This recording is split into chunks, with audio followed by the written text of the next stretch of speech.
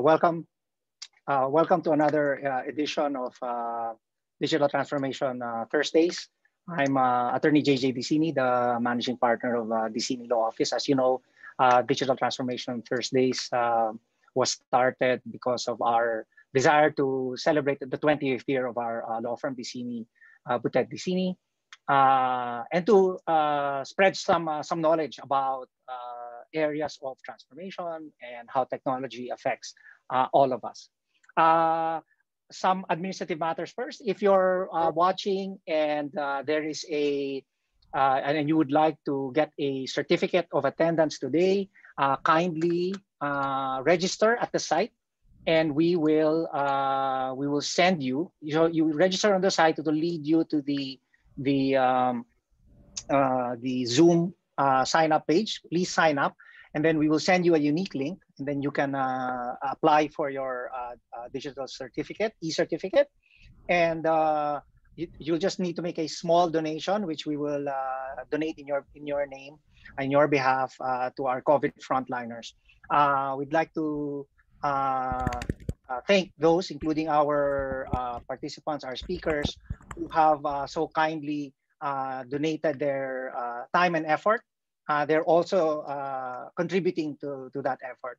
Um, so thank you to them. So today is a, is a special uh, topic, uh, uh, court resilience. And what we, um, and this is really a continuing effort on the part of the UP College of Law, uh, the Technology Law and Public Policy program of which I head and I'm assisted with by Attorney Oliver or Professor Oliver Reyes. but this is a project that began with the the pandemic, right? The pandemic created a situation where courts could not operate uh, properly. Uh, and there was a, a strong need for uh, the courts to uh, bootstrap a solution to allow the courts to operate even uh, with a pandemic and to allow uh, court litigants to continue their work and prosecute the cases, but within boundaries of safety, safety only to not only to themselves, but to others as well. Uh, and at the UP Law Center, we pushed we pushed this further. We in initially came out with a paper uh, on court resiliency, uh, court resilience. Uh, then we proceeded and actually, uh, and that will be a Professor Michael Chu will talk about it later. We operationalized uh, those rules into an actual manual, allowing, say, for cloud cloud computing services to to be utilized by the courts and by private parties uh, in order to, uh, to augment the paper-based uh, litigation that uh, we're all used to. And uh, we're working hard with the, uh, the IBP who has expressed support for this, for this effort. And today, actually, we would like to present that manual of operations so you can see how courts can potentially operate simply by, by using services that are freely available in the cloud. Uh, but on top of that, we'd also like to present uh, a, technolo a technology provider who has looked at this problem uh, and, uh, and actually can provide uh, those services to augment on, on the technology side the services that we need to um, make this all come to fruition. for our opening remarks, I'd like to call on uh, Attorney uh, Domingo Egon Cayosa. He's the National President of the Integrated Bar of the Philippines. He's a graduate of the University of the Philippines with a degree in AB Economics and a Master's of Business Administration. He's a graduate of the UP College of Law uh, and is also a mediator at the Philippine Mediation uh, Center. He's a member of the Philippine Institute of Arbitrators, ASEAN Law Association, Law Association of Asia and the Pacific, Vanguards of the Philippine Constitution. He's a lecturer uh, uh, for mandatory continuing legal education and at the uh, Philippine Judicial Academy. He's a corporate and litigation lawyer and a leading advocate for environmental protection, alternative dispute resolution, and human rights. Uh, Attorney Cayosa, welcome. Good afternoon, everyone. And uh, thank you, Professor JJ uh, and your UP Law Center team. I was just a few minutes ago with Dean Deng uh, in the, at the MCLE board, and we were discussing the online MCLE. Uh, we're having some uh, technical problems there, and uh, uh, we hope that uh, this effort of yours and this continuing forum that you sponsor will really bring out the best in information technology and automation to help us with our pressing and continuing problems in the justice sector. As uh, you all know, uh, ladies and gentlemen, my friends, fellow lawyers, your Integrated Bar of the Philippines under our leadership has been in the forefront uh, in advocating, harnessing automation, computerization, and information technology to do more, better, and faster in the justice sector. And um, uh, though the reforms or the changes may not be as fast as we wish them to be, we're happy to note that uh, due partly to the insistence and to the gentle persuasion and the public uh, clamor of IBP for uh, using IT, the Supreme Court has uh, positively responded. First, earlier this year, uh, they approved the online MCLE. Uh, thereafter, or even before that, there were electronic pleadings, electronic uh, dalaw, e-dalaw, e-warrants, and uh, we recently saw the interim remote notarization rules. We hope that eventually we will go to the real uh, digital notarization. Uh, we also have heard about the possibility of an online bar exam. And uh, now uh, in your own IBP, it's much faster for you to transact business with online payments. Uh, your IDs can now be processed online. Certifications that you need from your IBP can now be done online. And uh, just recently, last month, your IBP board upon my suggestion, approved that our elections can now be held either physically or online. So um, we are seeing the result of the efforts of many groups like yours, uh, IBP, and many others who believe in harnessing technology for good. Um, and uh, we're now seeing them find their way in, in courts. We are very happy to have worked with Professor Disini and my alma mater, the UP Law, College of Law, Filipino Center in developing the uh, model rules for online court processes. Uh, as you know, the challenge really is not uh, technology because technology keeps on improving every three, six months. The challenge really is managing the change. Our judicial system, our justice system has been used to physical uh, appearances. And that is why, uh, though we might, we may want it to move faster, uh, we have to make room for some hesitation. And many of that, much of that would be about fear and sometimes ignorance. Of course, there are real challenges like our problem with our telcos and interconnectivity. But as the businessmen tell us, because IBP has been networking with them, they say, if there's a demand, we will build it. So we're very happy that this initiative of Professor Disini and his team now we have a model rule.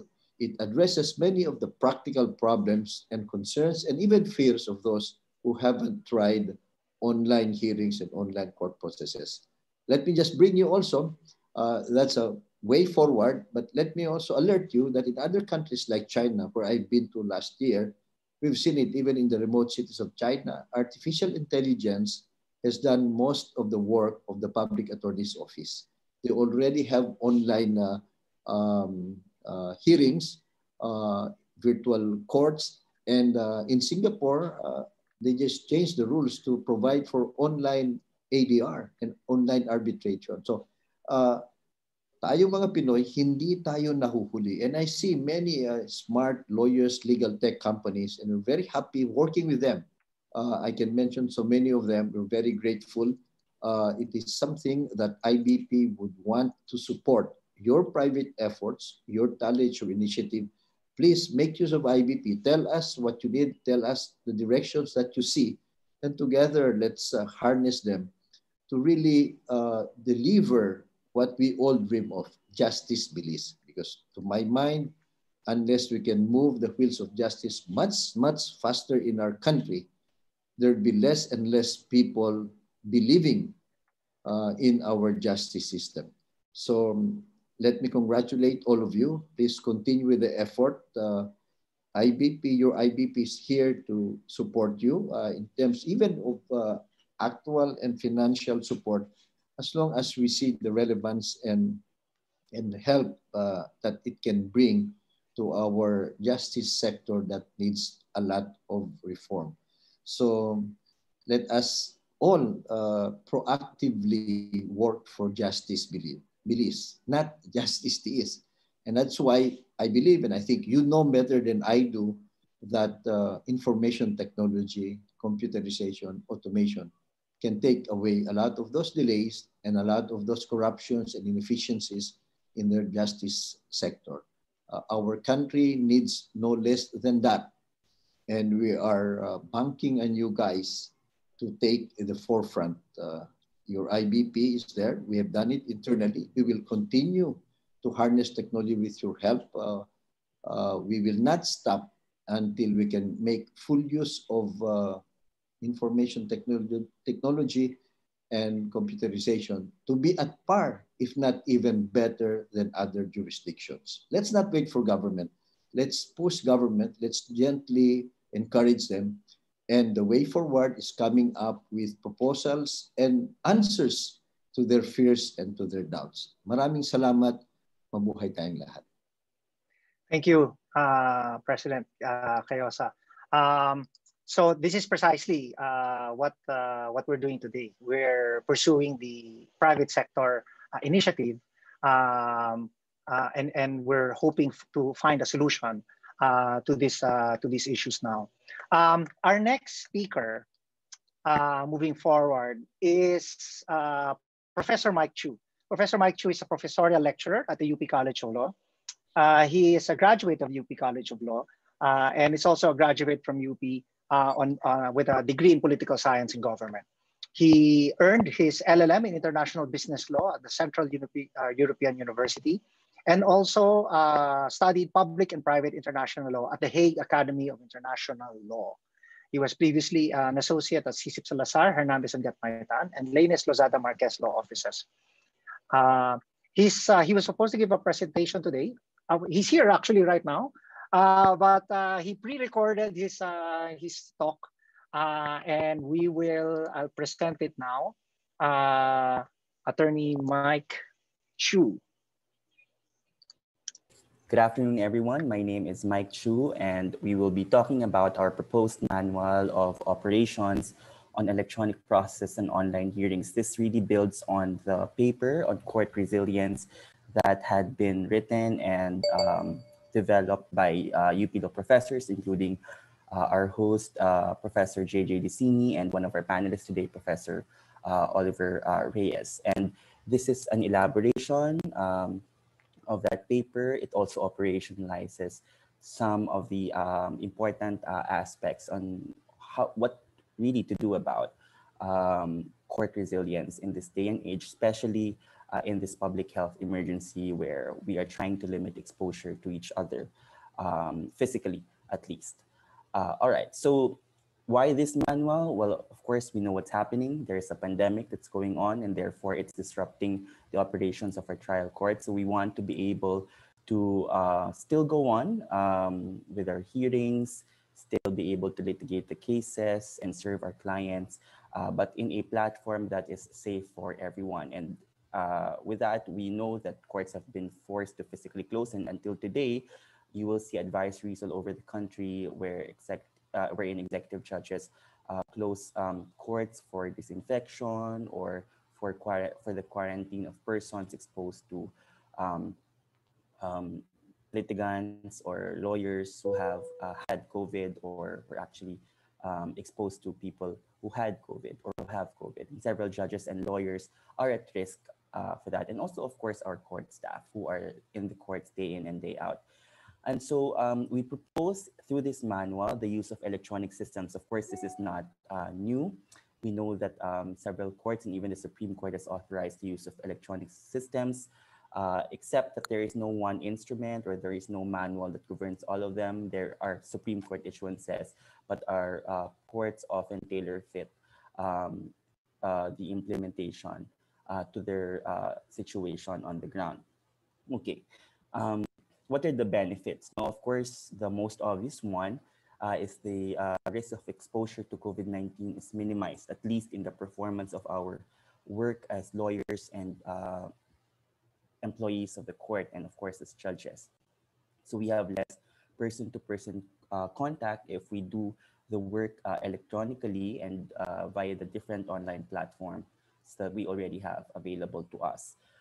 Speedy disposition of cases. Well, before we used to worry about um, getting stuck in traffic uh, or not being uh, physically available at a certain venue to attend a hearing. Now uh, we can be accessed wherever we are and we can uh, attend proceedings uh, from where we are.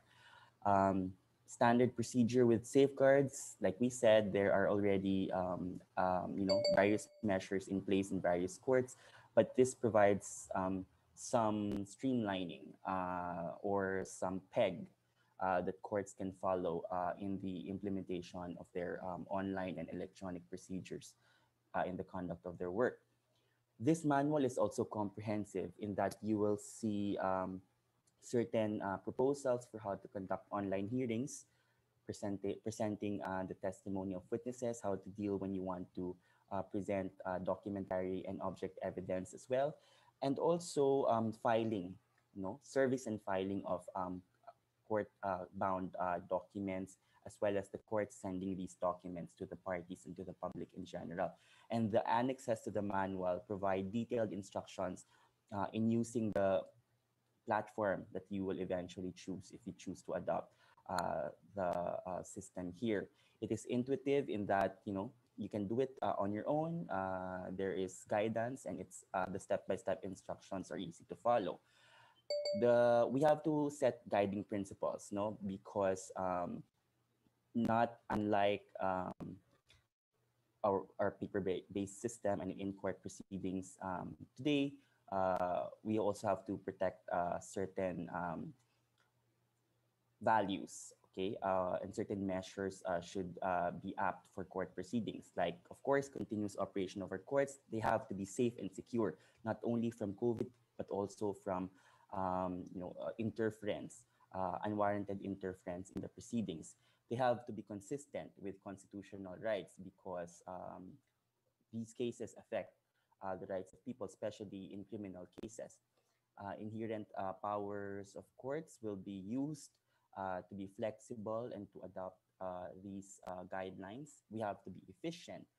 this the procedure has to be has to have integrity, and of course, because we operate on the principle of openness to the public and transparency, while protecting data and also the privacy of persons in general, uh, then we have to have measures for that.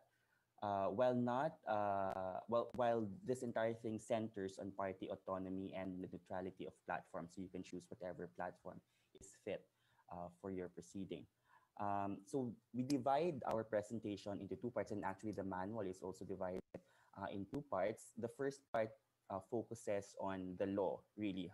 What will make our judges and lawyers confident that they can adopt the guidelines or follow the guidelines and they have sound legal basis. Um, and we have, of course, we start with the Constitution uh, in that the Supreme Court can make rules uh, in the pleading uh, and practice before courts or in courts um, in the same way that they've um, issued the Supreme Court circulars pertaining to the special rules uh, during this pandemic. We also have our um, 2019 uh, version or the amended rules of court or rules of civil procedure and uh, evidence, uh, specifically with respect to the allowance of um, electronic means for the filing of documents, the service of documents, uh, showing uh, how these documents are uh, served. Um, like today, we attach screenshots of the emails that serve documents to other parties and other interested persons. And of course, the issuance of orders, which is not new because we already have um, um, the e-system or e-courts a few years back. We already had rather.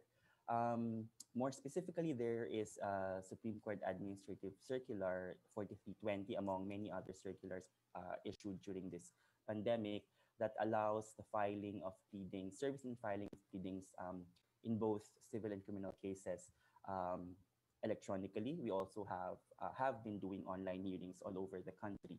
Uh, the guidelines also allow for uh, filing of uh, initiatory petitions, and subsequent pleadings via email, especially in the appellate courts, of course. But our focus today will be uh, in the trial courts, on the trial courts. The 2020 interim rules on remote notarization supplements um, these electronic systems. Uh, and um, one example, um, especially in the use of electronic and digital signatures, uh, is RTC Makati Branch 59. Um, it's important also to distinguish uh, because there are uh, substantial differences between civil, uh, between types of cases, particularly civil cases and criminal cases. In civil cases in general, uh, we have the inherent power of courts to adopt uh, these guidelines. That means they have the power to control the proceedings pending before their courts and you know use a suitable mode or process. In this case, the one we're proposing is the electronic one to uh, carry out its jurisdiction. Um, and of course, uh, trials and hearings are also controlled by uh, our judges and the employees. We also have um, the rules of electronic evidence, uh, particularly on the examination of witness to support our guidelines um, proposed in the manual.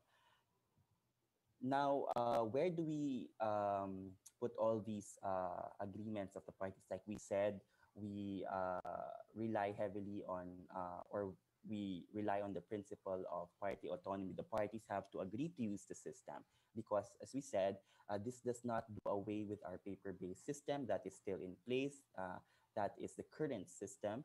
And so that's the prevailing rule. But of course, if parties agree and the courts agree uh, to use the electronic system, then it has to be uh, put somewhere to bind uh, everyone. And we are seeing the potential of the pre-trial order, as in the paper-based system, uh, to put all these rules together and control the proceedings. Before pre-trial, there's no problem in civil cases because they can, uh, we, we also attach forms they can fill out uh, so that they indicate their preferences or agreement in the first place to use the platform and preferences as to the platforms themselves. And then we have um, uh, so, so then all of those agreements will be put in the pretrial order. After pretrial and after the issuance of the pretrial order, um, we also will not have any problem because the order can be amended. Um, although, you know, most of the time they won't be because they uh, have already been issued and can control the proceedings, but they can be amended, especially in this context where we have uh, when we have an emergency to prevent manifest uh, injustice and also to serve the purposes we have already outlined um, at the start of this presentation. Uh, cases tell us that there should be liberal interpretation uh, of the rules and some of them have to be relaxed to facilitate justice. In this case, our hearings have to go on, right? Our cases have to be litigated um, and shouldn't be disrupted any longer. Um, parties can agree to hold a pretrial or accomplish uh, these objectives uh, if the first pretrial had not uh, uh, you know, catered to the new circumstances. In criminal cases, here we have more straightforward rules in the sense that there are already Supreme Court issuances that allow for video conferencing te technology for remote appearance of persons deprived of liberties. We also have um, uh, the Supreme Court Administrative Circular issued uh, just this year uh, with respect to the remote appearance uh, or appearance from a remote detention facility uh, in the courts uh, when we're talking about uh, persons deprived of uh, liberties. Of course, we also have to uh, put markers um, in terms of the timeline and also the kinds of persons who are involved. So for those who are not PDLs, okay, or not persons deprived of liberty, and before pre-trial, we have the same mirror rules uh, in the civil cases, in criminal cases, uh, where we have um, everything we agree, the parties agree before pre-trial will be reflected in a pre-trial order. Uh, and um, as the pre-trial rules uh, tell us, the court may entertain considerations and agreements during pre-trial. Um, similarly, after pre-trial, uh, we also, uh, the court also has to, um, upon probably joint motion of the parties and also a hearing uh, on what they are trying to pray for, um, the court can amend the pretrial order to reflect the agreement to use the electronic system to move the case forward. Um, and so um, it's important to emphasize at this point that all of these will happen because the parties have consented uh, to the system and of course the court uh, also acqui- acquiesced or agreed.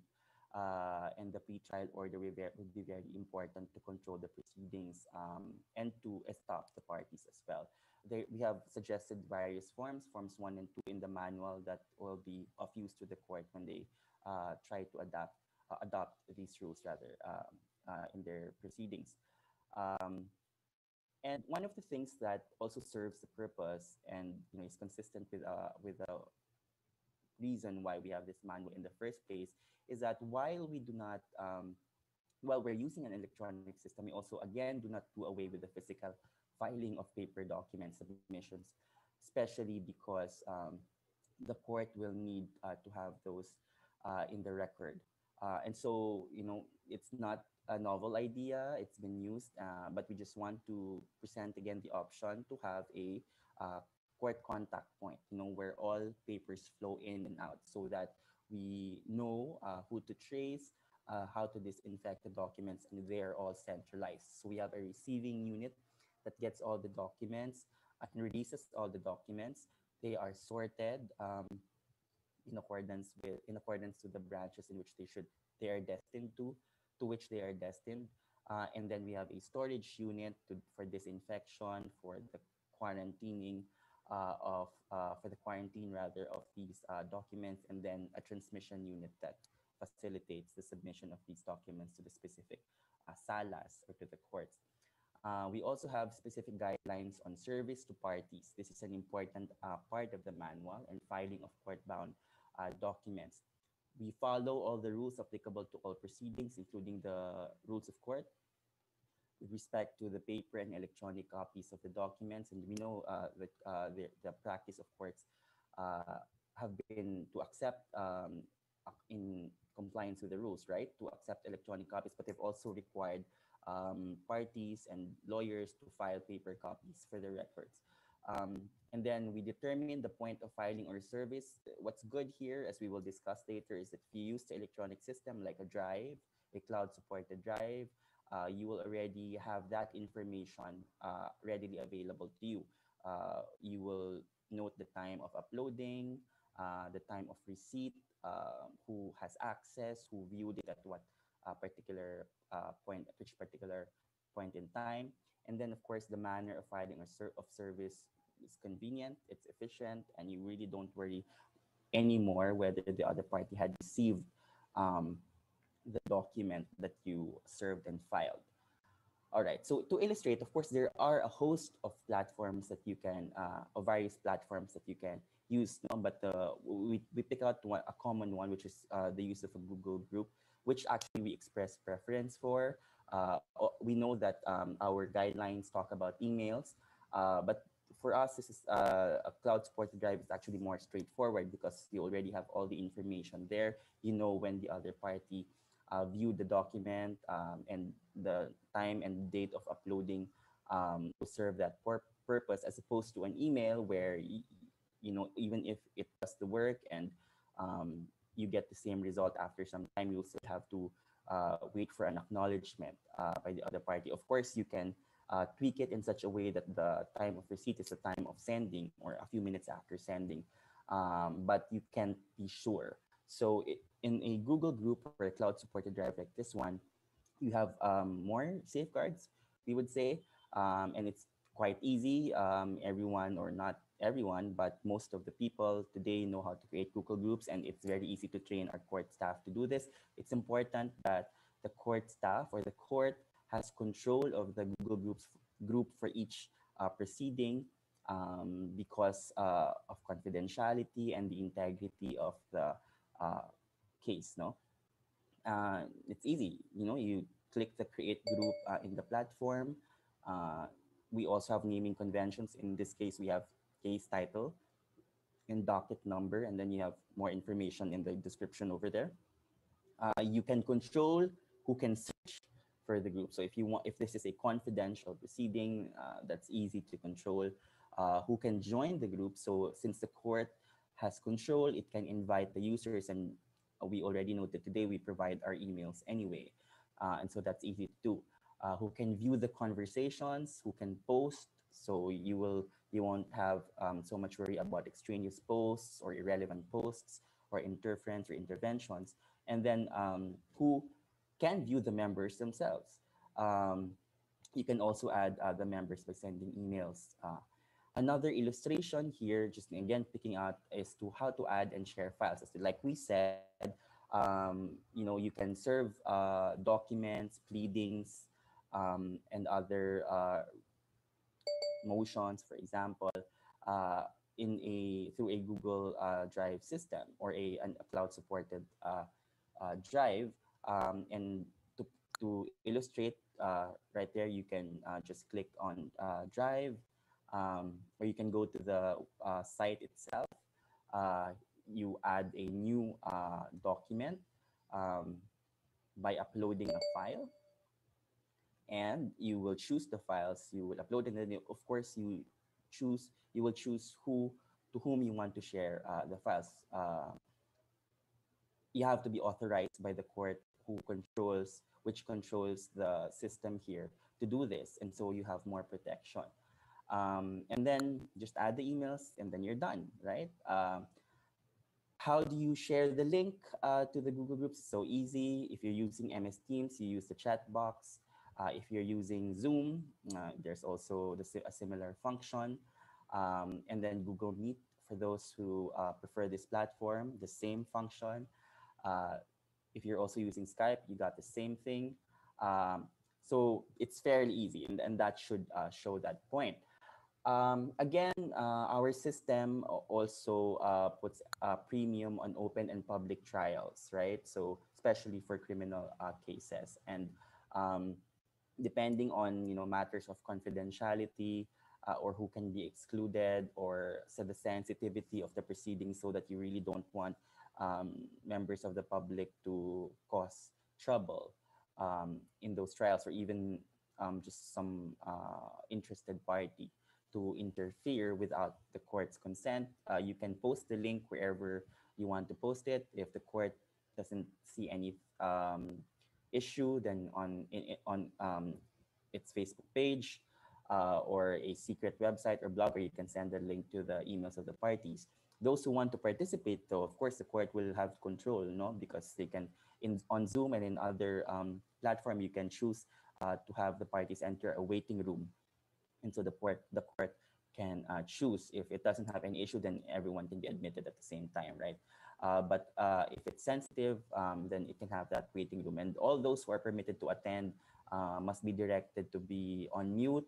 Uh, if the court uh, thinks it's proper to see their faces, they, they have to turn their videos on or not, then they can turn their videos off. And if anybody causes, causes disruption, then they can be kicked out of the Zoom meeting or the online hearing. Um, right, so the then uh, we have, um, well, before we have an online hearing in the first place, we determine whether uh, these factors are present uh, to warrant an online uh, hearing. Uh, but, but just to reiterate the point that the possibility of holding an online hearing would already be uh, reflected in the, or agreed upon in the pretrial and reflected in the pretrial order. Um, the judge plays the same role generally to ask questions like uh, the judge does in a in an in-person hearing. Uh, can pause the proceedings like when they do the uh, recess. Um, can rule on objections. Um, and they have to be clear in this regard right? Because um, you know the the proceeding may not be recorded or it or you know parties uh, internet connection uh, might uh, cause uh, problems and therefore they can also use chat, the chat box function to communicate that. And then it's important here to emphasize that uh, the role the role of the clerk of court in assisting the judge in doing that. Our manual, uh, at least part one of it, also uh, talks about um, how to do how to present evidence during online hearings like testimonial evidence, documentary, and object evidence.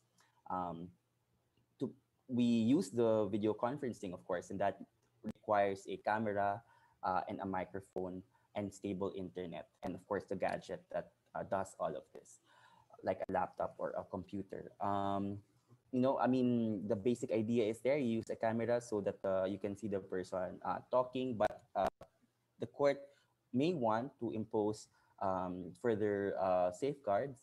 Uh, and so you can require two or three cameras to see uh, the surroundings of the person, the witness, to ensure that nobody uh, is um, coaching the witness. and if you want to present evidence, you already have those documents, which in this case can approximate the paper court record, all those documents uploaded in the the drive, right? You can um, download them, or the court itself can control the drive and share uh, those documents. Um, this will necessitate a little bit of um, an arrangement before the hearing if you want the court to control it. But if the court allows you to control the sharing, then you can do that yourself without bothering the court. Um, and then parties should use uh, diligence. In this case, we want extraordinary diligence to ensure the security of the documents to prevent intercalations.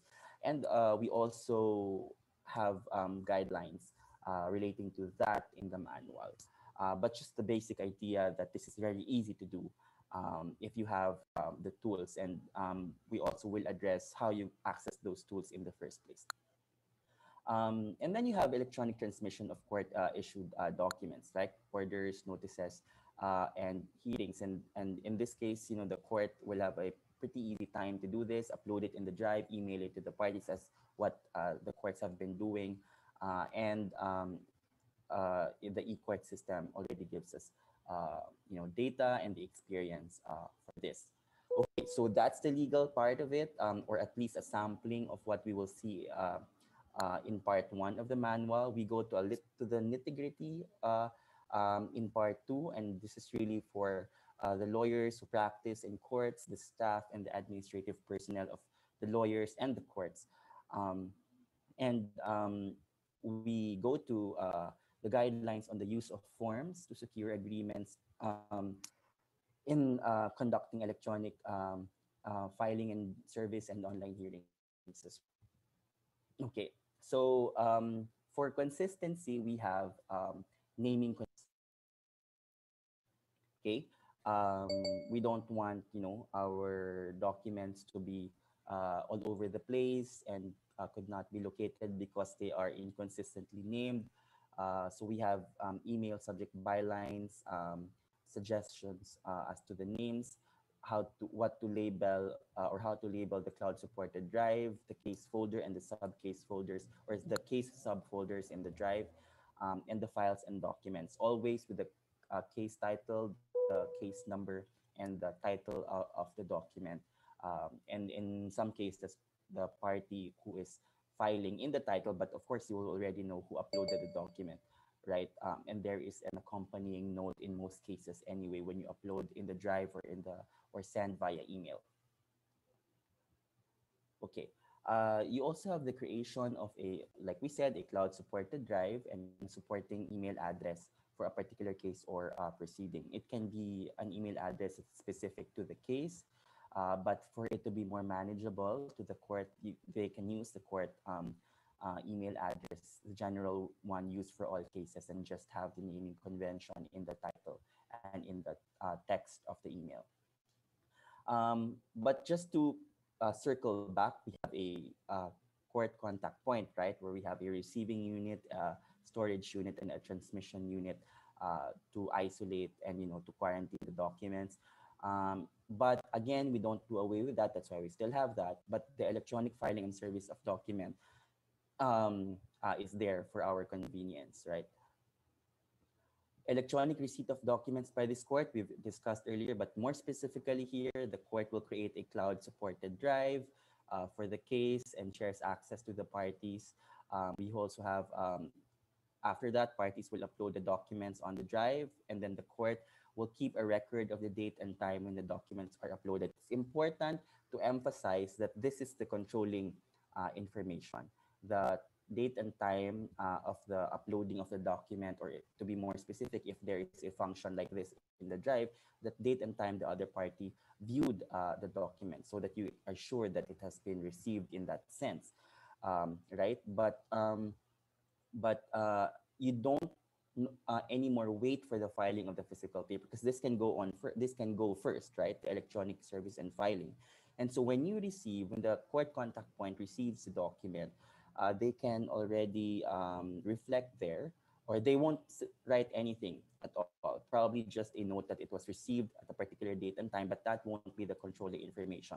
What will be reflected as the date of date and time of receipt by the court staff will be the date and time of uploading or of emailing uh, the document um, in the drive or in the system that was used.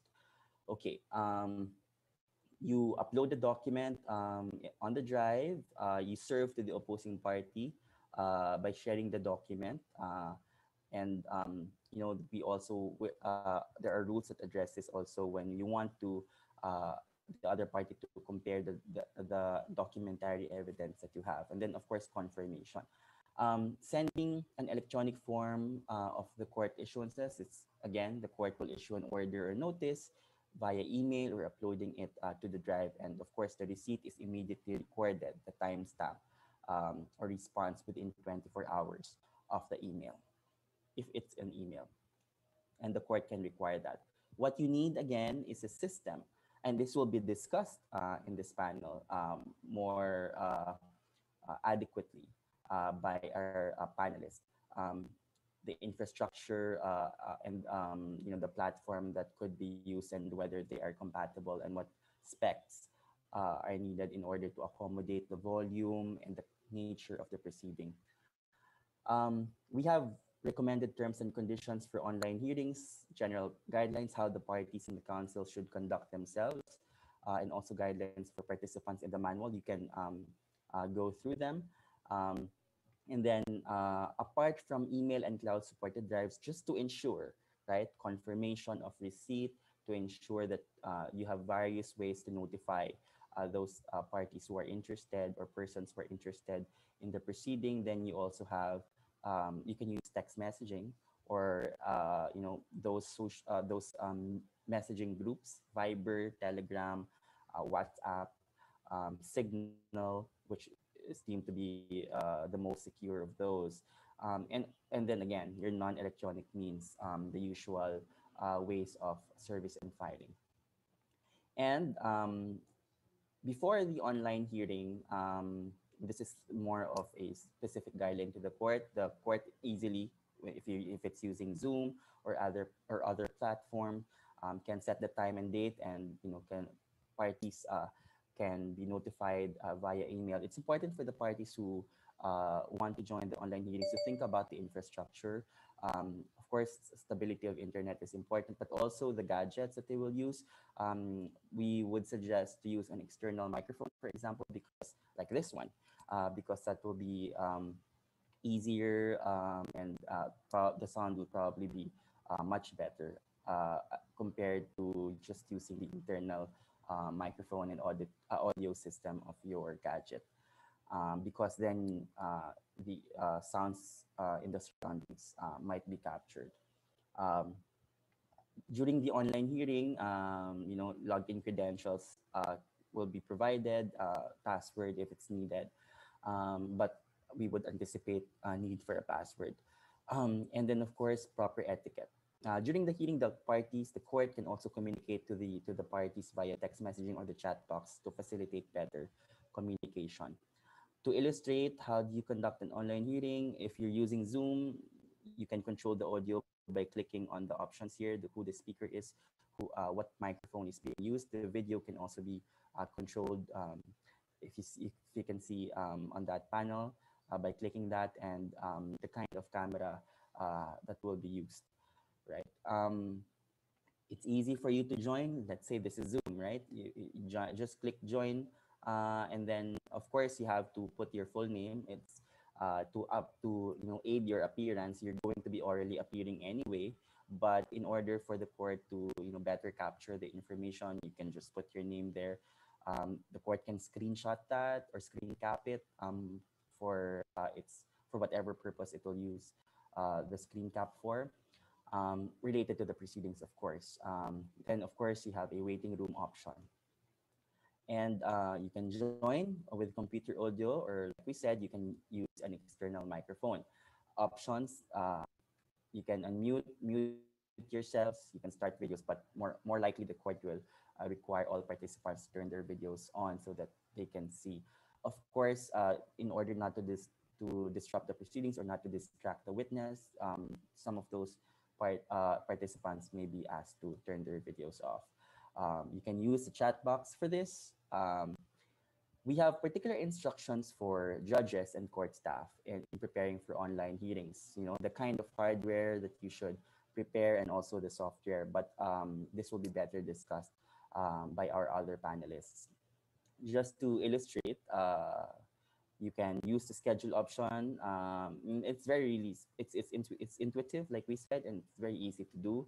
Uh, you can uh, change the topic to the, the incident uh, uh, involved uh, or should that will be heard and the details, the time and the and there are advanced options to control certain aspects, right? If you want to automatically record it, we want to emphasize that um, even if there is a recording of the hearing, uh, that is not the controlling, um, you know, record. The controlling record is still the paper-based record, that's still the transcript, uh, that was taken by uh, the uh, court stenographer. But um, to confirm details, to correct details, the video can be used. It's not going to form part of the records of the case. They can delete this um, afterwards if you know everything has been uh, settled. But just to make reference, if uh, let's say uh, because there are some things lost, right? Um, in online hearings that are available when you are in person in a physical space. Uh, and so you can come back to it. And this is the advantage because if you are doing um, physical court hearings, you can know, I mean, you only have your memory uh, to rely on, right? But here, this is really a good thing because you have a video uh, that you can come back to uh, if something um, is not uh, clear in the records. So just click on meetings, schedule it. You can copy the invitation and send it to the parties. How to record? Uh, if you are not automatically recording it in the advanced options, you can just uh, uh, continue. And this is a safeguard actually because uh, parties will be notified. Uh, you can you can choose an option that the parties are notified and it appears there anyway uh, if the, the thing is being recorded. And so um, anyone can make an objection, let's say, or the court can disapprove of the recording and ask that it be stopped so everyone knows what's going on, right? And you can choose to store the recording in a cloud, uh, in which case um, your um, storage in the gadget won't be burdened as much, or you can just for safekeeping store it in your gadget.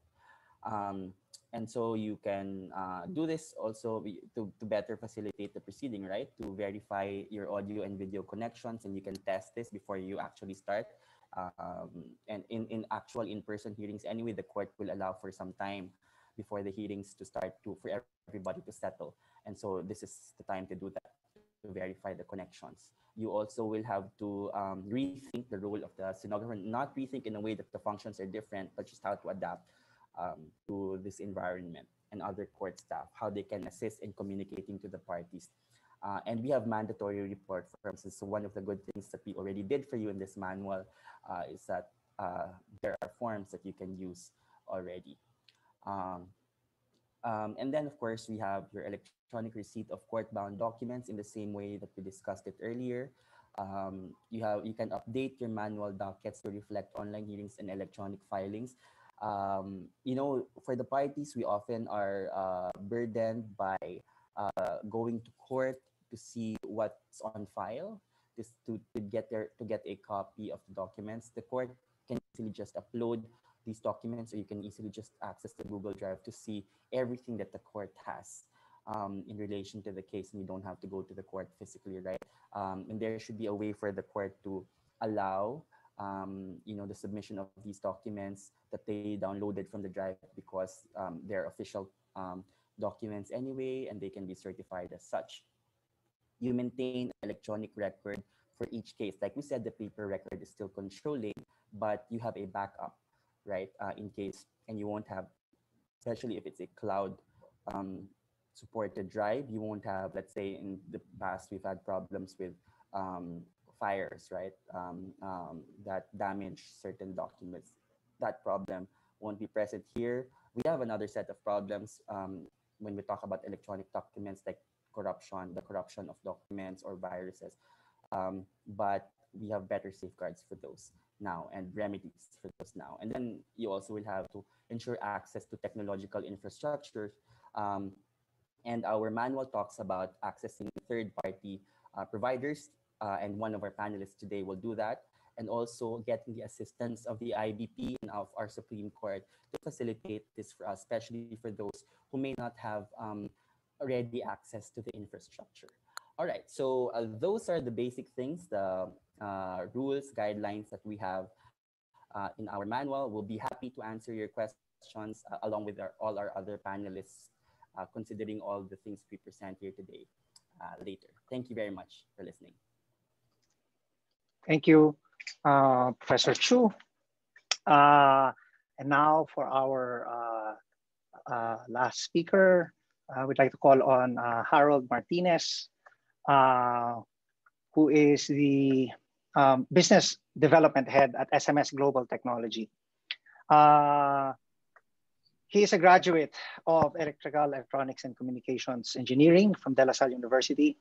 He was a field engineer at uh, Pacific Consultant, uh, president at Filmographia, and uh, founder of Tidal Solutions uh, Corporation, uh, and is currently the chief executive officer of Encaptive Limited. I'd like to call on Harold Martinez, who will talk about the the technology uh, aspect uh, or proposed improvement or services that can come together with this uh, with this service. Harold. Hi, uh, good afternoon, everyone. Good afternoon, JJ. Thank you very much for the opportunity. Good afternoon. Uh, well, again, uh, my name is Harold Martinez. I'm from SMS Global Technologies. We are a system integrator, no? so we we help build the infrastructure or the backbone of the operators. So, so we work with Globe, PLDT, Smart, other telecoms also uh, in other countries. So we we focus on telecoms and also in government, anything to do with technology. So we build the data centers, the command centers, and so on. No? So um, we've been tapped um, a couple of weeks ago, think, uh, or maybe a month ago, uh, to look at the current situation in the uh, in the courtroom hearings or the trials. No? And um, we were lucky enough to witness a particular one that I'd like to talk about later. But before that, uh, we prepared a, a short video lang no, on how we feel we can help in this situation. So if you if you could bear with me, I'd like to show to you a, uh, a one and a half video, sort of like a teaser on how we feel we can help uh, accelerate the trials today.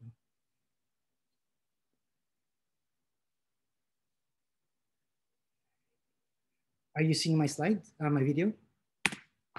Due to the COVID-19 pandemic situation, we understand that our justice systems must be prepared to operate under these uncertain conditions while ensuring safety for everyone involved in a court hearing and most importantly, the continuity of justice. SMS Digital Studios aim to enhance the transition of online court hearings and make it as smooth and hassle-free as possible. How do we achieve this? With existing setup of sending schedules of online court hearings by the branch clerk and after logging of all the participants. The plan is to put two high quality cameras that acts as a wide view and a narrow view within the courtroom. When it comes to audio, our proposed microphones will output clean sound audio without any audio feedback, even with close proximity participants speaking side by side within the courtroom. Participants logged in from other locations can now clearly see a live view from the courtroom and hear the proceedings with better sound quality. Digital justice can now be ensured without dragging audio feedback and maintaining high quality experience.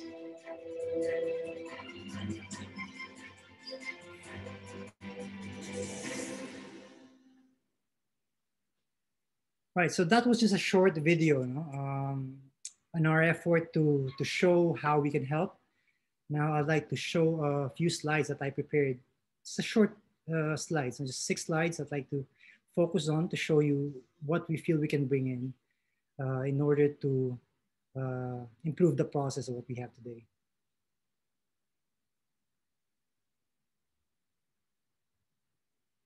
Can you see my slide? Uh, you need to switch the, no, uh, yeah, there you go. there. So uh, again, um, my name is Harold. So we are a system integrator focused on telco and government projects. Now we specialize on providing um, technologies. No? So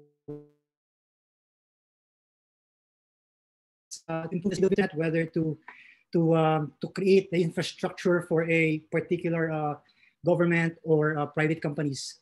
We do that. No? So so in the past week, we've managed to um, uh, witness a, uh, a, trial that was done live um, in one of the court rooms here in Mandaluyong. So we were there. We actually managed to witness it, and uh, we saw a lot of rooms to improve. No? I would leave it at that. No? So, so let me describe to you how it went. No? So it took them about 20 minutes to set up, and then after the setup, they started. And then when they started, we heard a feedback, like a, a, a long sound uh, feedback.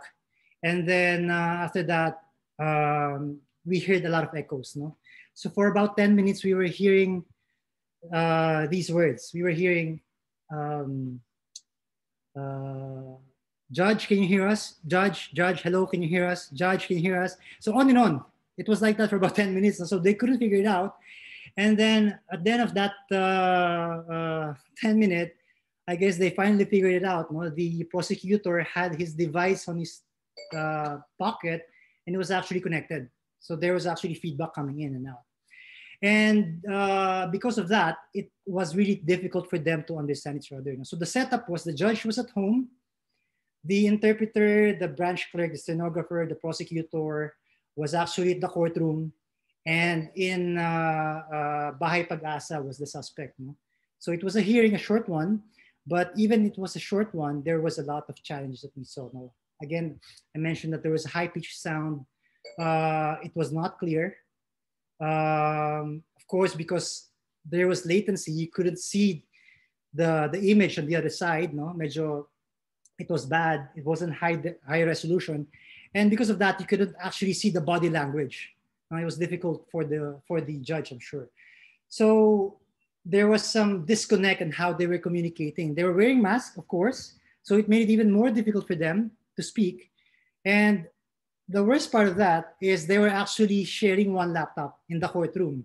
So the clerk, stenographer, the prosecutor, and the um, uh, interpreter was actually sitting next to each other, trying to fit in a laptop. No?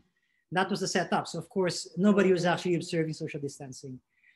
Uh, to top all of that, um, they were actually connected to the prepaid internet that was sponsored by the uh, by the judge. No? And in Bahay Pag-asa, they also had a prepaid um, uh, connection running on a laptop that was shared by the whole infrastructure, meaning uh, after this current trial, it is actually going to be used by someone else who's also attending another trial. So they were actually sharing just one connection, one laptop. No? So this was a lot of hassle. And, and, because of that, it made it almost impossible for them uh, to do the hearings on a daily basis. As a matter of fact, when we did the interview, they said that they only conduct it twice a week, no? Tuesdays and Thursdays, because of the challenges that they had to face in doing it. No? So um, it was not accelerating the way they do they, they, they, they work on the justice they were actually slowing things down no? and uh, they were also using the same microsoft link uh, microsoft teams for, from the trial in the morning up to the afternoon so there was no uh, security behind that so it, it, was a lot of um, uh, there were a lot of variables going on so so to to, to help eliminate that, we actually had to summarize what were the challenges. And so, so one, of course, as I mentioned, there were a lack of, um, of a good audio quality. No, they couldn't hear each other. There was no microphones. No, they were just sharing a single laptop. The quality of the video was bad. No, it was pretty bad.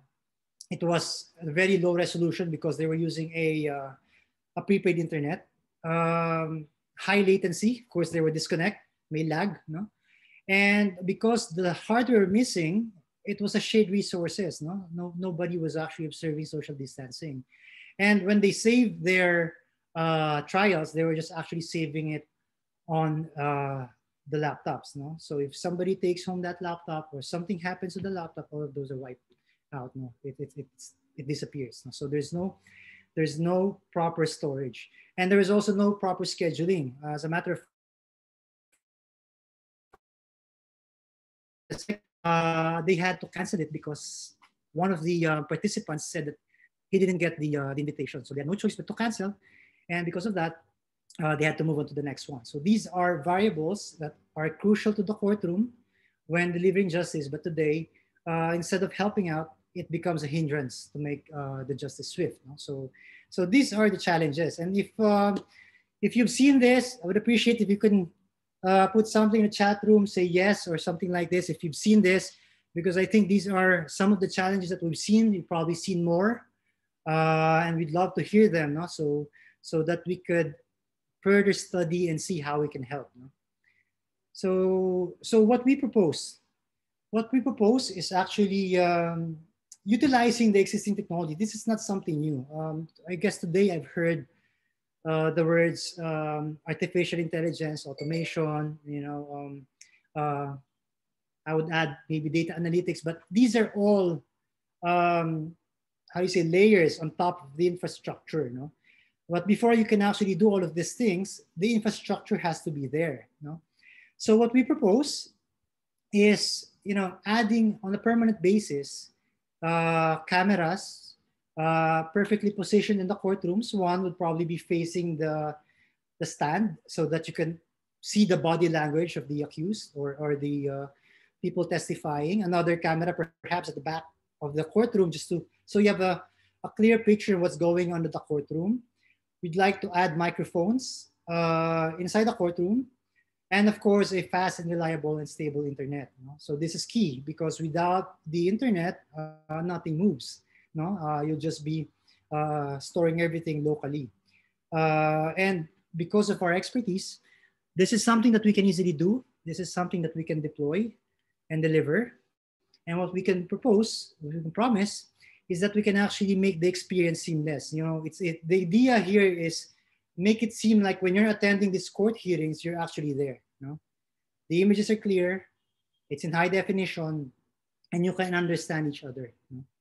So, so this is the uh, this is the idea, and we want to provide a support and maintenance so that um, the the the staffs in the courtroom would have to worry about this. Because this is not their uh, core competence, you'd like them to focus on what they do best. So this is how it would normally look like. Now we have a, good PTZ uh, in the in the hearing. We'd have a microphone. We'd have monitors that will uh, show in the venue. If it's a judge at home, you'll probably see the judge in, in, in the monitor. If it was uh, somebody from the uh, from from another place testifying, you'd see them, or if they, they were in uh, in jail in the detention, you'll see them, and it's going to be in clear resolution. So these are just some of the things that we'd like to propose as a foundation, you know, as a foundation on improving the uh, the uh, performance and how we do things. So with that, um, I'd like to highlight the, the advantages of doing this. You know, because of our current relationship with the telco, we, we feel that we can actually bring in um, the internet infrastructure. Uh, we can help invest on this hardware, no? so that there could be proper scheduling of events proper scheduling of uh, trials. Ideally, how we see it is somebody would just get an SMS, and in that SMS is their link. With that link, you click on it, you'll be joined in this trial, and you can start communicating. Uh, it has to be that seamless. Um, again, it would seem like you're actually there, hearing everybody in high, res- in high resolution, also with the capability to record the whole trial. And with that, uh, we can say that you know, the, the attorneys, uh, the judges would be able to avoid traffic. Uh, you'll be able to handle more trials in a day and therefore accelerating justice. You know, um, I guess at the end of the day, this is what we want to bring in is a way to actually improve how we do things today and um, accelerate how we do the justice system today. So um, that's that's it. No, that's that's the last of my slide. I just wanted to share that with you. Uh, and um, I guess also one question was asked uh, before before we we uh, when we were preparing this. What would be the cost? No, the cost will be um, minimal. Um, if there will be uh,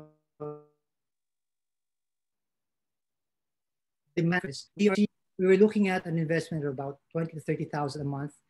Uh, that includes the hardware, the, the infrastructure, the internet, which you know we could spread across the month um, and charge uh, probably the trials no? uh, and see how we can monetize that. But at the end of the day, what we want to bring in is the experience and the uh, capability to actually all to do all these things uh, as if you're actually there in the uh, in the courtroom. Thank you very much. That's it. Thank you, Harold. Uh, let me see. I'm Not sure what uh, people. Maybe you can uh, stop sharing. Uh, so thank you for that for that talk. Uh, let me see. Um, actually, our um, our next speaker is. Uh, hold on. What am I doing here? Uh, yan yung problem pag ano. Okay. So our, our uh, our next speaker is not is not going to talk anymore. He will just join in the Q&A, but I'd like to introduce him anyway. It's uh, Professor Oliver Reyes. He's a policy officer at the UP Law Center.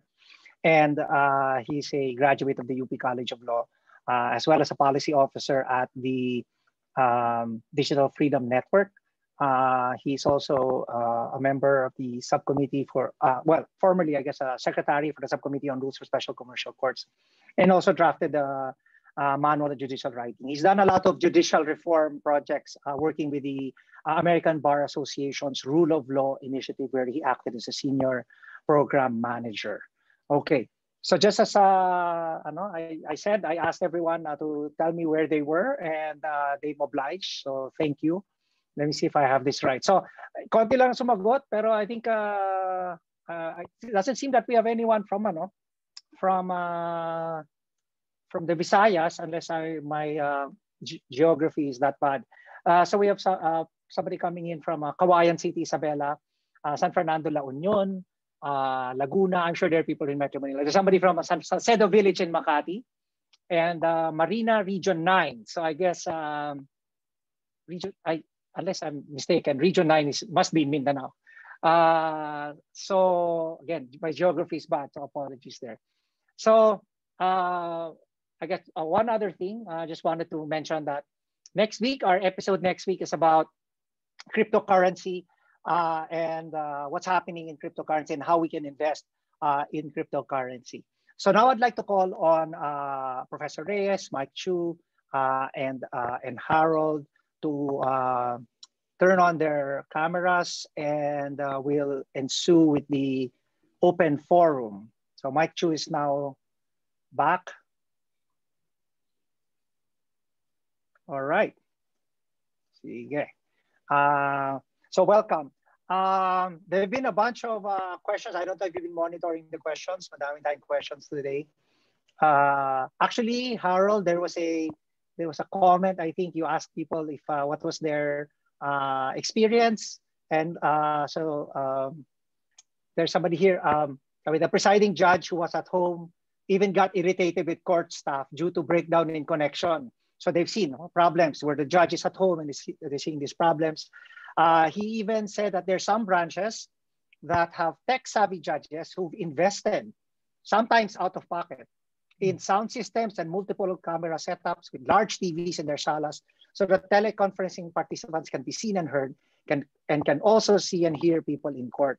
So, uh, so I think um, uh, certainly while you know that's not that's not uh, that's okay i think it's it's inefficient to have that if there is a private provider such as uh, your company who can come in uh, and uh, and uh, do that so maybe i'll um, okay so uh, maybe i'll know we'll go we'll go through brass taxes brass tax as it as it were uh, kasi na mention mo yung cost no so there there are a series of questions on on cost no on a rough estimate how much would it cost um, one court to set up one set of the system you're mentioning. Uh, um, Yes. How much do you think it would cost? Well, it depends on the setup. No, um, ideally, uh, uh, the, the setup would have multiple um, cameras, microphones, uh, right, so that they can easily see each other. Uh, and then there's there's the cost of the infrastructure, the internet. No, so we are one computation. It could cost somewhere around twenty thousand, maybe twenty five thousand on a monthly basis. So we're spreading that cost, meaning we're investing on the infrastructure and spreading that in a probably span of um, two years. No, so for that to allowing us to recover. So it's going to be minimal, I guess, considering that um, there are about 15 days in a month where trials are held in a single courtroom. So if you just spread that, uh, it's not going to be a lot of money. Because today, ah, okay. they've already invested on the prepaid uh, dongles, no? the prepaid routers, the prepaid costs to, to doing this as it is. Uh, just use that fund somewhere else and make it more efficient. Okay. So uh, in other words, if uh, um, perhaps what, what might make sense is uh, have uh, some of the systems, uh, sorry, some courts have it, some courts will not have it. And then they, maybe they can share, no? The, the judges can just, or the litigants can just share the court resources, uh, which that might be more, more um, efficient. Now, the second part of that question, I'll, I'll, pose that to Ollie or Professor Chu, is, you know, how can we go about and convince the judge uh, that that you know using this kind of system is uh, is uh, you know permissible under the circumstances.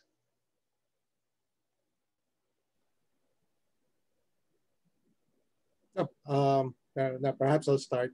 So, of course, one thing would be to assure the judge that assure the judge and assure the litigants that uh, do, adopting these systems would not be in violation of the rules. So, and I think that, for example, the manual that Mike discussed uh, does provide for some of the uh, legal authorities that can be cited in, uh, in order that the judge can be convinced that, yes, uh, using these technologies would be uh, consistent with the rules. when it comes to adoption of the technologies, I think also that it would be crucial to convince the court staff because uh, it would be the court staff who would be um, doing a lot of the operations of the system. And uh, in, my, in my experience, even if the judge may be you know, tech savvy or convinced if the court staff is, uh, is, is not, not up to speed, uh, then there would be problems with implementation. Yeah, uh, maybe I would just also add that um, it's not, uh, it's, it's really required by the circumstances in the first, but also it's not so different uh, from what we're doing in the sense that the, the only thing really that you remove from it is being physically present in one place, right? But that is achieved by being present in this platform together, actually um, oh, barring all those uh, problems that uh, Harold discussed earlier, you can actually hear each other clearly uh, and uh, you can share documents more efficiently. So uh, apart from the legal basis, uh, it's also, I think, worth reminding the courts that they've always been flexible, right? I mean, uh, they've always uh, adapted to circumstances or if um, they're presented with novel situations, they've always had the power to, to, to adapt to those circumstances and use the rules in order to facilitate or move the proceedings forward. I have a, a, a I guess, administrative question insofar uh, uh, to Harold, no, and uh, I say admin question because as, would would it be part of the service that you're contemplating that you uh, your company or uh, part of the service will be you will have somebody who will manage, for example, you know, the Google Drive for in behalf of the court. Is that uh, part of the service that you're contemplating? It's possible. Uh, you know, um, when it comes to technology, as long as it's available out there, you know, it's, it's possible. It's just management, no? Uh, right. My discussion with um, some of the lawyers, they said, you know, they might want to retain, uh, you know, uh, managing those uh, because they could be sensitive information. So, so oh, yeah. But we, we can do that. It's not a problem. Right, because I, I'm uh, anticipating that not all of the courts uh, or court personnel uh, may be uh, knowledgeable uh, on a technical level or maybe even confident enough to, to operate these systems on their own.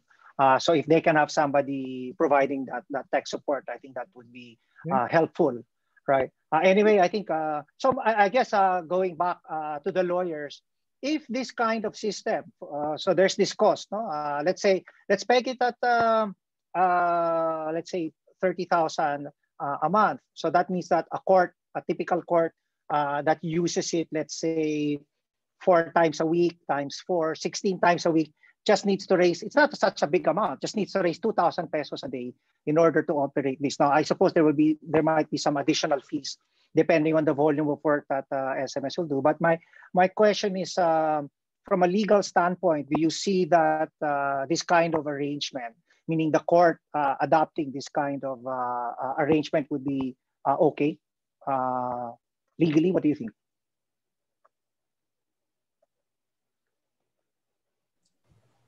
Yeah.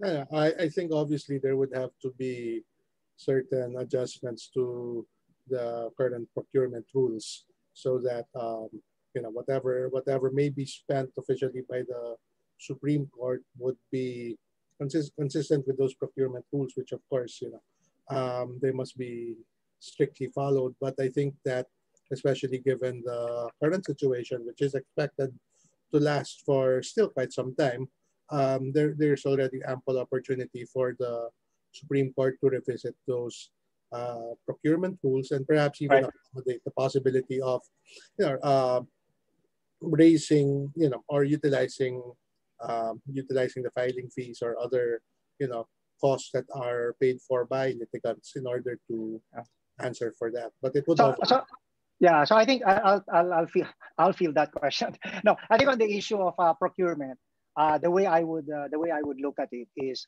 uh, the, the government. Uh, if there's no cost to government, I think the procurement issues can be can be sidestepped. Uh, so this this uh, is a service, for example, that can be procured by the private parties. The private parties are the ones who are procuring the service, and they're paying it out of pocket. And the courts now are are merely users at no additional cost.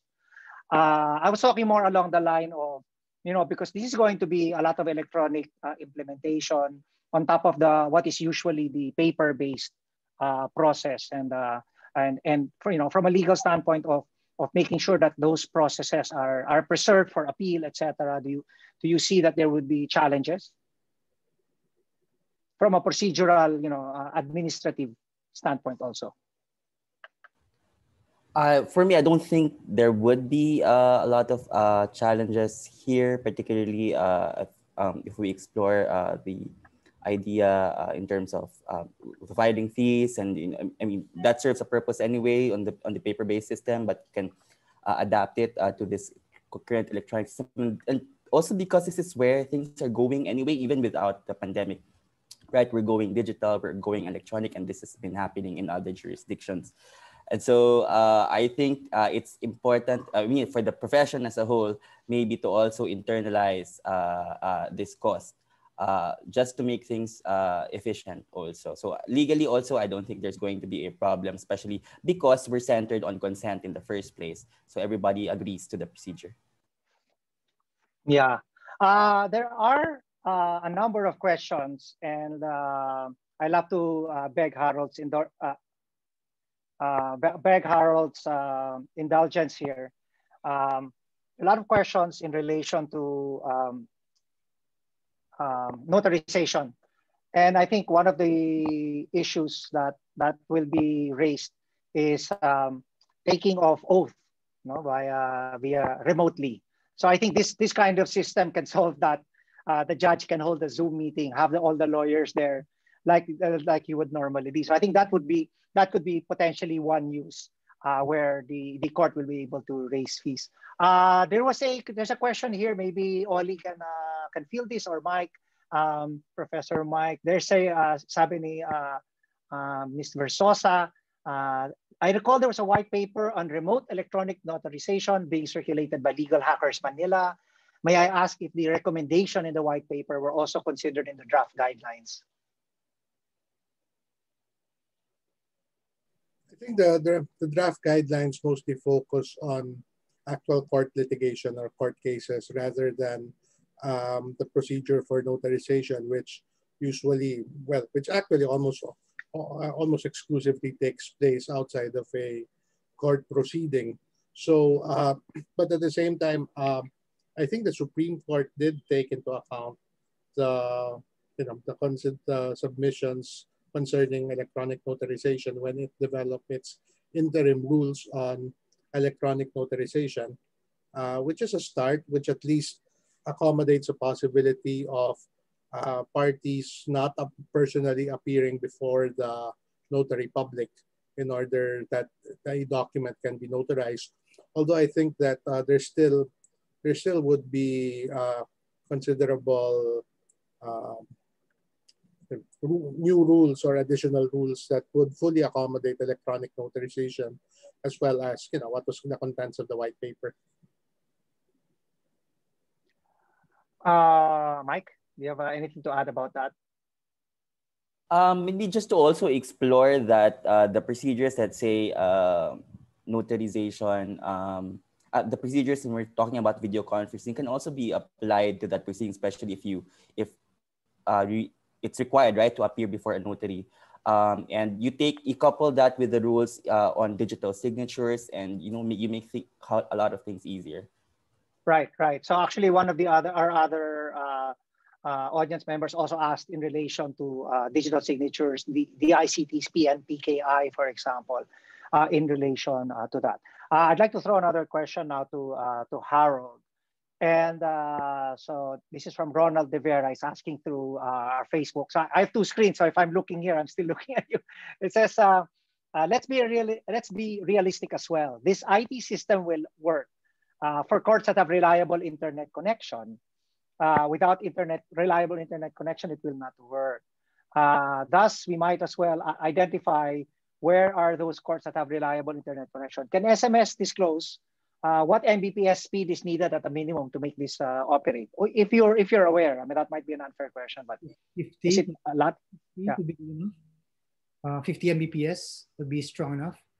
Um, so yeah. Anyway, the idea is yeah, absolutely no. You need a strong internet connection. So I think as part of our proposal, internet will also be bundled. No? So uh, we'd like to leverage on our existing relationship with the operators because we do work with uh, the tier one operators. We'd like to bring those in so that when we do deploy our hardware, kasama na yung, uh, yung uh, internet. No? Uh, so there will be some networking. Yes. Uh, may networking work pa in the, on the premises yes. to bring that high speed uh, connectivity to the, to the actual court. Correct. Okay.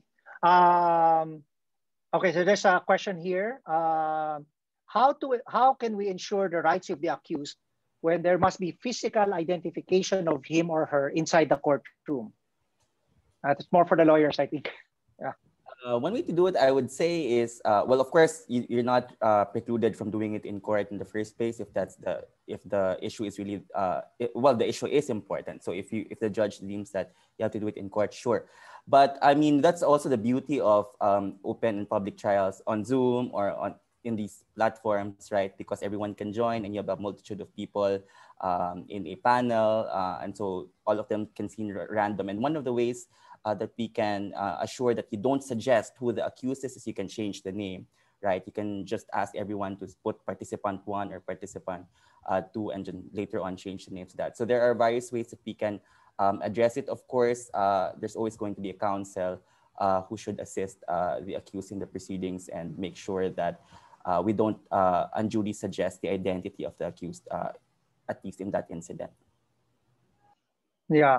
So going back, maybe I'll uh, throw this to Ollie. Sorry, going back on the issue of notarization, there's a question here whether, and I'm not sure, uh, sabi it might be high time to allow non-lawyers to notarize, like in the US. Uh, in the Philippines, but we require that the notary be a member of the bar? Is that uh, I am actually I don't know the answer to that question. I think that that is because our notarial law dates back to 1912, and uh, okay.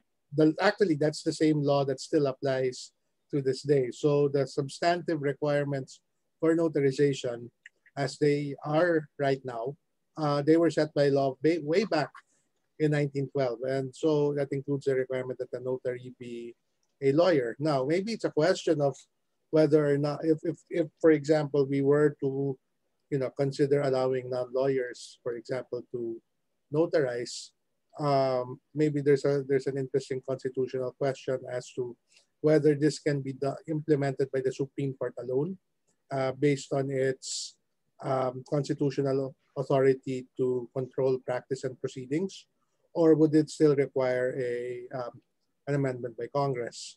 But I think that before that would be pursued, the one other thing that would need to be looked into is whether or not there is indeed a dearth or not enough lawyers who are spread out across the country uh, su such that uh, notarization, there, there are not essentially, there are not enough notaries in the Philippines. Although, of course, it's just not a matter of, you know, there being enough lawyers. It's also a matter of there being enough lawyers who have bothered or who have deemed it worth their while to apply as notaries.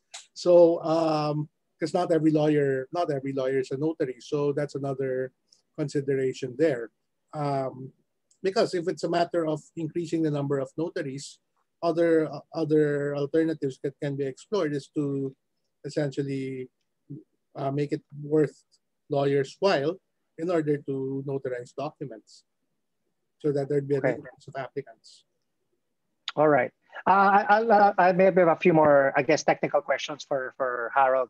So you said you can get bandwidth to the to the courts. I mean, I guess we're talking about a, leased line, I guess, no? From uh, if you're if multiple courts are going to share, it would have to be some sort of leased line uh, connection to the court, and then you'll have to lay out some sort of a network locally so that the bandwidth can uh, can be split uh, among and so that multiple courts can have uh, hearings simultaneously.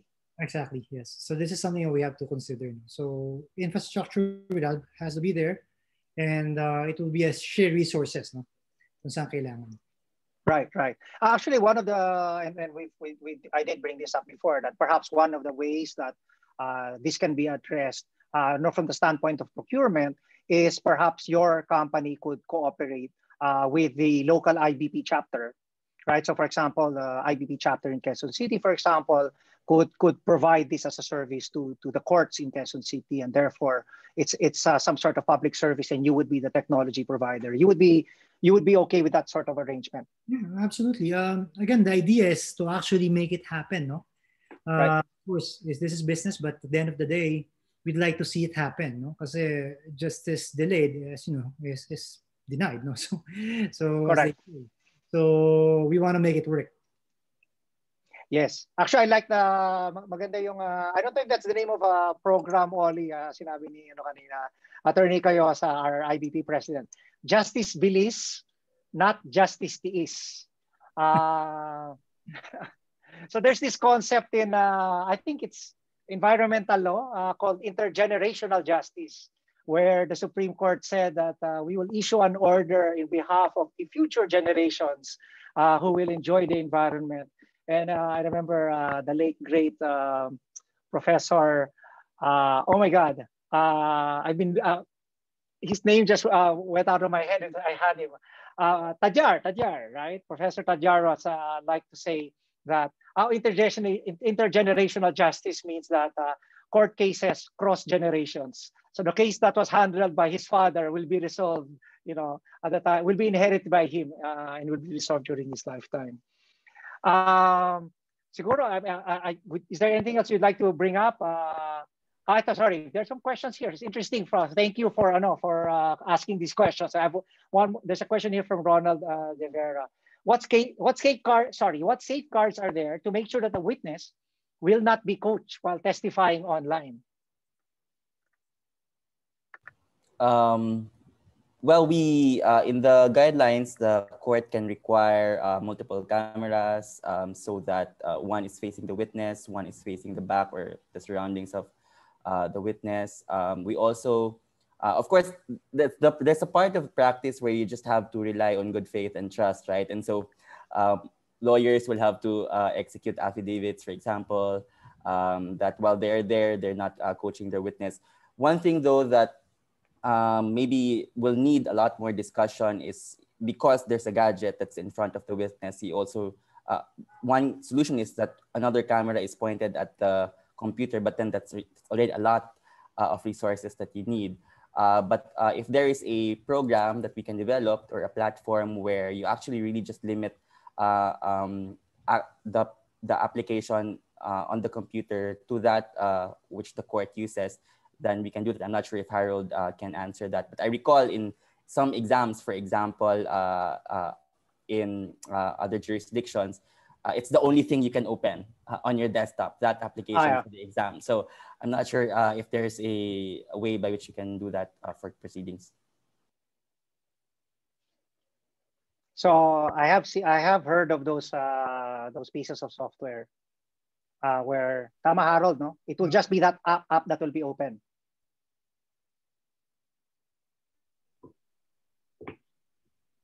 Sorry, I lost you there. Uh, you see that again? Yeah, no, I said there were uh, there are apps that ensure that only, for example, one application will be open at a time. So if a witness is testifying, we can ensure that only Zoom will be running, no right. other application. Sure, sure. Yep. Right, right. Uh, actually, you know, it's funny. Uh, uh, last week, we had a session on uh, online virtual arbitration, and we had a, a speaker uh, two speakers were actually uh, involved in international arbitration.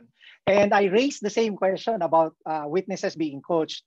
And uh, the approach to the answer was uh, the actually the, the speaker was uh, bewildered by my question. It's like, why would anyone do that? it's just funny that as Filipino lawyers, it's like it's part of the realm of possibility. But in other countries, it's like this isn't you know this isn't likely or even possible to happen.